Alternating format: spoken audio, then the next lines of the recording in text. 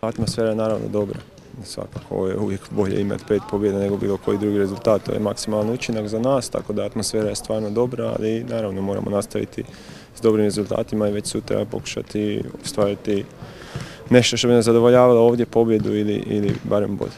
Kakva je situacija s momčadi u odnosu na onu utakmicu u Puli? Je li sve u redu s igračima, svi zdravi, svi spremni? Je, svi su zdravi igrači, svi su spremni koji su igrali i tamo, još nam se priključio i Šutalo Josip i Luka Sučić, spušteni za reprezentacije, tako da imamo sve moguće igrače na raspolaganju.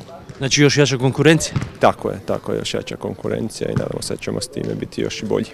E, kakva je Austrija? Što znate o njima? Koliko ste ih uspjeli pogledati? Doduše oni su igrali utakmice, većinu utakmica odradili, imaju utakmicu više, odradili su ih sa momčadima koje su ipak protiv Estonije, protiv Azerbeđana. Da, igrali su utakmicu više, ali po nama e, zaista najkvalitetnija momčad s kojom ćemo se susresti do sada.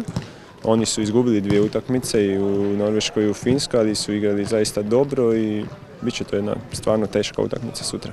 Što je ono njihova najveća karakteristika u igri? Kako, na koji način? Oni su, pa igraju u tom nekom sustavu 3, 4, 2, 1, jako su agresivni, stišću, visoki pritisak, onako jedna ekipa dosta, kad bi usporedio s nekom ekipom na znate možda Red Bull Salzburg ili nešto taj stil igre, taj stil nogometa, tako da morat ćemo biti jako dobri, morat ćemo biti mirni na lopti, čuvati ju, da, da neutraliziramo taj njihov pritisak i da, da ostvarimo neki rezultat za nas povoljan.